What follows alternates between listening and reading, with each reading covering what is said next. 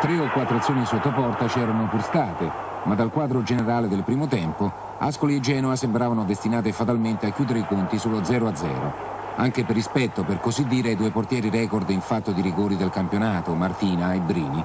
Oltretutto il pari stava benissimo a tutti, ai Liguri per la salvezza e ai Marchigiani per giungere a quota 10 partite utili consecutive, per la gioia, se volete, anche del campione di Flash premiato da Rozzi prima della partita ma quel che sembrava appunto un inconsapevole gioco delle parti veniva stravolto appena dopo l'intervallo. Al secondo della ripresa infatti il Genoa andava in vantaggio, traversone da destra di Corti, testa di Russo a due passi da Brini e gol.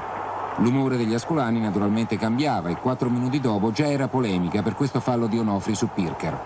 Delia, forse a torto, forse a ragione, non dava il rigore e Mazzone rischiava loro il tutto per tutto, mandando dentro contemporaneamente sia Zawi che De Ponti, così da formare assieme a Pirker l'inedita situazione per l'Ascoli di un attacco a tre punte. Al ventisesimo arrivavano i frutti.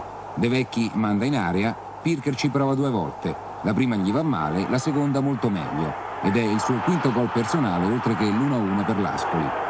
Al 43 sono ancora i marchigiani a sfiorare la marcatura e sarebbe stata la vittoria.